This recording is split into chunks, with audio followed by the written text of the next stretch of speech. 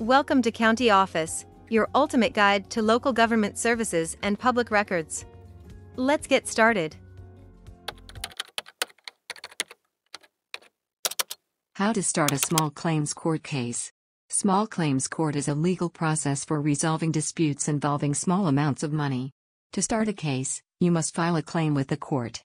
The claim should include the amount of money you are seeking, the reason for the claim, and any supporting evidence.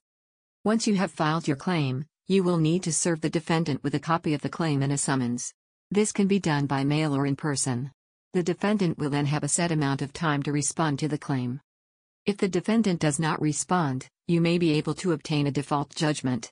If the defendant does respond, the court will schedule a hearing to resolve the dispute. At the hearing, both parties will have the opportunity to present their case to the judge. If you win your case, the court will issue a judgment in your favor. You can then use this judgment to collect the money you are owed.